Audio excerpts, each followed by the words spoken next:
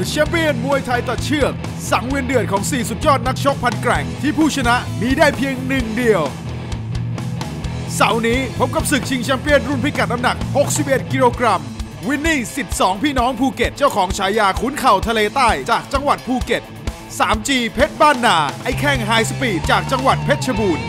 เพชรทรายมูลค่ายแสนสุ่มจิม จอมเตะพลังบั้งไฟจากจังหวัดยโสธร